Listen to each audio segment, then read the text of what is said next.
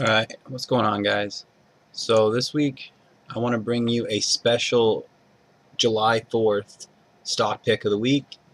So instead of doing one company, I'm going to talk about three companies today and all of these companies are focusing most of their production and most of their marketing in the US. So these are technically US cannabis companies, but they're trading on the Canadian Stock Exchange. This company here, Cannabis One, um, you know, they are focused mainly on the Northwest.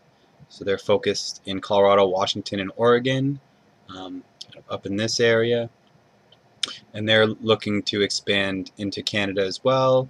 Um, so they're currently operating in three U.S. states, and they will be looking to expand into all of these states here. As you can see, more than a dozen other U.S. states, along with every province and territory in Canada. This they hope to be done by 2019-2020. Uh, so Cannabis One is a fully integrated company from seed to sale. So they have cultivation facilities in Colorado, and they are producing majority of the products they're selling, but they're obviously not able to meet the demand, so they have uh, other retailers which they're selling through. As you can see this here, this is one of their retail shops called The Joint. So this is their style uh, or branding. As you can see, it's very hip, kind of like, call it like retro almost, maybe 1960s, 1970s kind of diner kind of style look. Um, it's definitely old, old-fashioned look, trying to um, almost that got that reefer madness kind of look to it. So they have all of these products here. As you can see concentrates edibles topicals hardware all of the strains they have are here. Um, they have connection or at least some supply agreements with all of the brands you see here.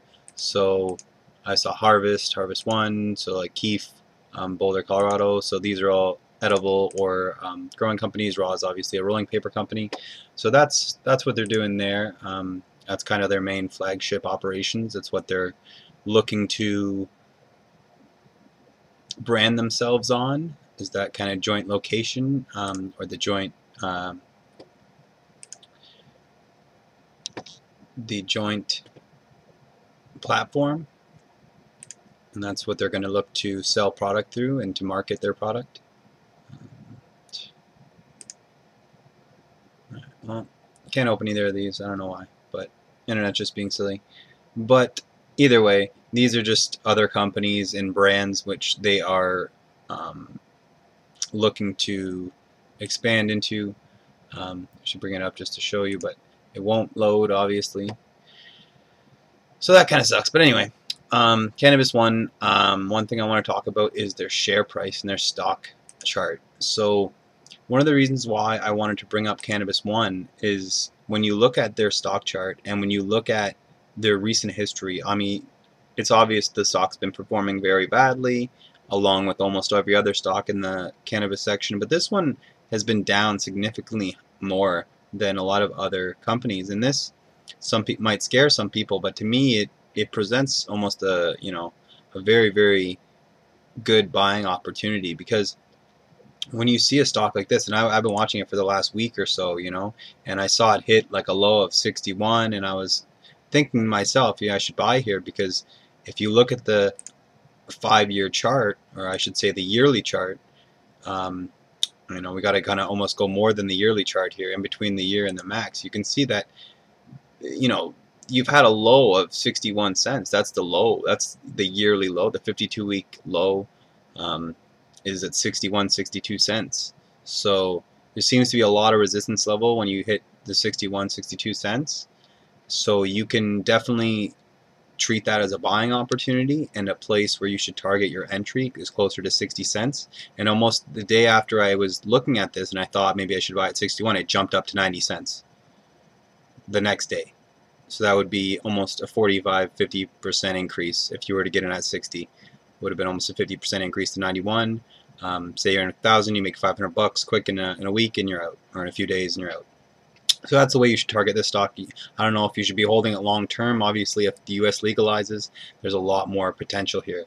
So let's go on to our second company, uh, MedMen. And one thing I want to mention is a lot of these companies I'm going to do probably videos uh, on their own. So don't think that this is going to be my full examination of these companies. I simply just wanted to do a, a, a July 4th uh, stock pick where I could give you a view into the U.S. cannabis market and a look at some of the leading companies or at least the ones that I have been keeping my eye on. So MedMen I would say is the, the, the biggest company in the US. They have the largest production base and they have probably the, the biggest name. Um, they are putting themselves in a position to be the largest and the most well branded company in the US. So they currently have a presence in 12 states. They have 37 retail locations with 86 retail licenses. That means they can open up another 50 stores with 2 million plus retail transactions since 2018. So in a year, they've made over 2 million transactions. So the big thing to understand here is that all of these are in prime locations like Las Vegas, like New York, like Los Angeles. A lot of these are in prime real estate locations. They're the first movers. Florida is another big one. Also states in the Northwest like Oregon and Washington. I've also given them good uh, locations. So their retail locations are some of the best and they have some of the largest profit margins and their stores have been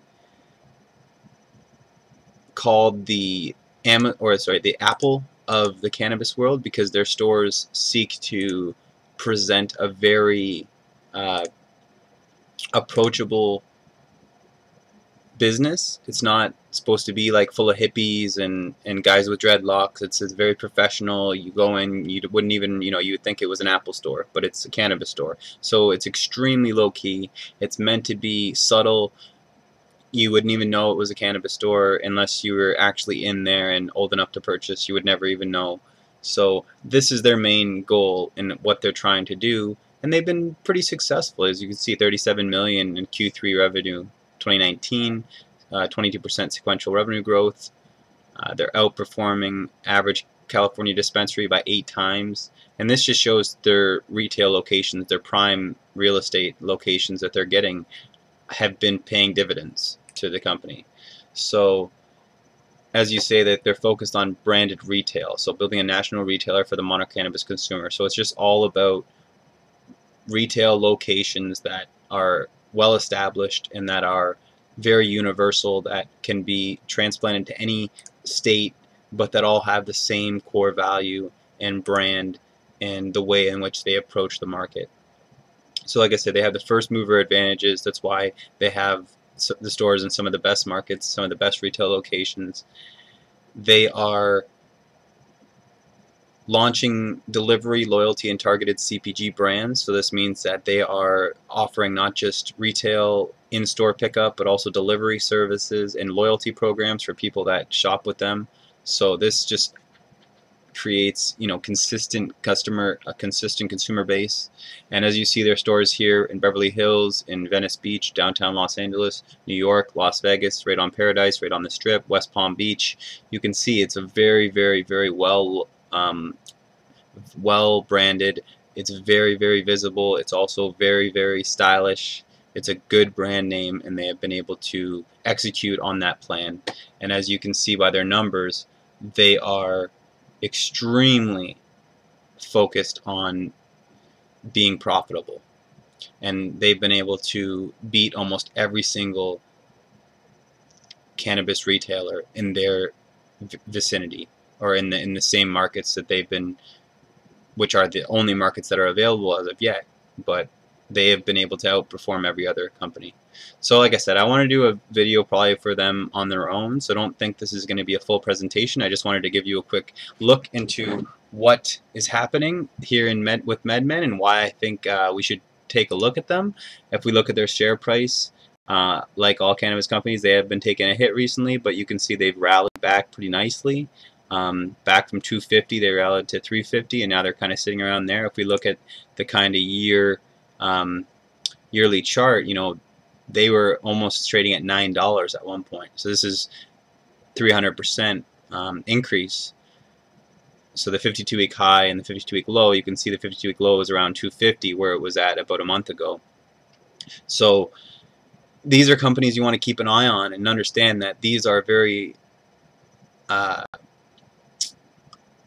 very big risk investments because it's all about U.S. legalization. It's all about if U.S. legalizes, these stocks will explode, and this nine dollars will be the floor, and that will then you will see the stock explode. But we need federal legalization, not just state legal legalization. These are big, big differences. So the last company, though, I want to talk about real quick is 1933 Industries. It used to be called TGIF, um, or sorry, used to uh, used to be called uh, Friday Night Lights. Uh, then now it's 1933 Industries. Uh, ticker symbol is TGIF. Um, so one thing to understand about 1933 is they're solely focused in Las Vegas currently. They are trying to expand, but their main focus is in Las Vegas and in uh, the Northwest as well, so in Washington and in the newly federalized states of Chicago, um, Illinois. They are looking to expand into Illinois as well, but currently they are fo focusing most of their time and energy into Las Vegas. So just quickly looking at where their main focus is, we can see that, okay, so they're, like I said, they're in the Northwest, they're in California as well, Colorado, Arizona, complete Las Vegas expansion with constructional cultivation facility, production building, and CBD extraction lab. So, I guess they're based in Las Vegas, but they're mainly selling to Washington, Oregon, California, Arizona, and Colorado, and they're completing their Las Vegas expansion facility so they can have uh, a full production and CBD extraction uh, lab. So that, like I said, they're the first licensed cultivator in Las Vegas, and this is one of the big things, gives them a big, big um, advantage. Like I was saying, they're, they're really focusing on the Nevada market, but they are branching out, as you see here. They are looking in the Canadian markets and along the whole west coast, Arizona and Colorado as well. They're really trying to focus on CBD extraction and, and hot, high CBD um, and hemp-derived products. So they're moving from 12,000 square foot capacity to a 67,750 square foot cultivation facility. So this gives them six times the production that they currently are, are at. And as you can see they've been growing their revenue exponentially every quarter. So by as if this just keeps going up going up they'll be at 10 million in the next two or three years and this should be very well um, to be able to reach their profit margin. But like I said they're not even fully operational yet. A lot of these companies are still they're still in in the building stages. They're still in the cultivation stages. They're still not at the full production or full operational optimized capacity. So you need to be patient with all of these companies and realize that they are getting themselves in the right position and once they have all the laws implemented and once they are able to fully gain access to capital resources, which they're currently denied because of the federal legalization in the United States, you'll see that they have the ability to explode. And these are, you can see the Kurupt's moon rocks, so these are Kurupt the uh, rapper, um, and a lot of these are connections and just brandings trying to be um, hip or brand themselves with something with, with kind of very stylish names and trendy names. And moon rocks is a very trendy thing. So they're focusing on these these markets to draw people in. And then obviously the product will be top quality. So that's what will keep them once they've been drawn in from the branding. So that's that's like one of the you know big things I just wanted to mention. It's not really. I don't think that a lot of these companies are ones you should be investing in today unless you see the right opportunity, unless you're able to find a good entry. Like I said, look for the 52 week low. If, if it breaches the 52 week low, wait till it finds a bottom and then look to en enter there. A lot of these products are very, very, very uh, good products and they are universally uh, reviewed as being some of the best in the industry. So a lot of these CBD sprays and gels and uh, hair products and body solutions and even their pet products have been some of the leading products in a lot of the uh, a lot of the different expos and ways of promoting their products when they go to different uh, galleries or different uh, expos they they have the best consumer ratings so that bodes well for their products that people are coming back and people are saying that their products are good. So this is a good thing. Like I said, their their Las Vegas facility is still in construction, so we're going to have to wait to get updates on that till they get up to full production capacity. And as you can see, their stock price is sitting at 41 cents. So it's a relatively cheap stock compared to a lot of the other cannabis stocks. Uh, it's been relatively, you know, it's down about 50%, a um, little more than that from the high, from the 52-week high.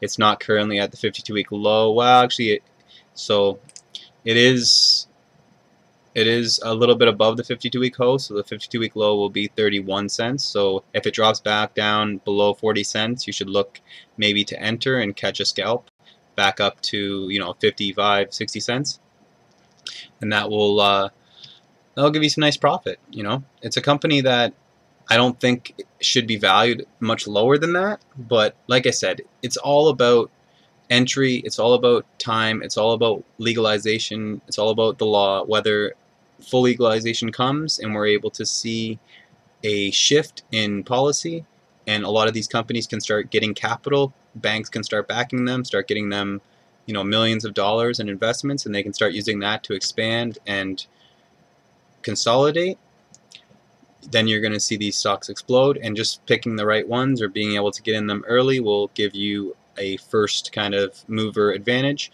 And a lot of the good the good thing about a lot of these companies is that a lot of them even if they're not that great they'll still stock prices will still explode if legalization is to occur. So that's just something to keep in mind. But again be very risky or be very cautious. There's a lot of risk in these trades. There's a lot of risk in cannabis stocks. Uh, volatility is good, that's where we make money, but can also be very bad because it can leave you in a position where you buy too high and you get caught in a kind of dip. And if the market doesn't do well, well then you're going to have to wait. And a lot of times you shouldn't be investing with money you can't wait, you know, a year or two years or three years to get out anyway. So just keep that in mind. These are long-term investments, many of them, but you can still make money in the short term but you need to be able to recognize where the lows are and where you need to be targeting your entries and that will lead you to be more profitable and in the end will make you a successful investor. So that's all I wanted to talk to you today guys about. Happy 4th of July to all the US people in the US out there. I uh, also happy Canada Day. I haven't done a video since then so happy Canada Day to all my Canadians. Uh, Hopefully this video helped you. If you have any questions, and I'm probably, like I said, I'm probably going to do video of each one of these companies on their own, but I just wanted to bring you a quick 4th of July special and highlight these companies and maybe, you know, if you haven't got them on your radar, you should, uh, you should put them there and keep an eye on them because they might be very, very explosive in the future. Alright. Have a good day, guys.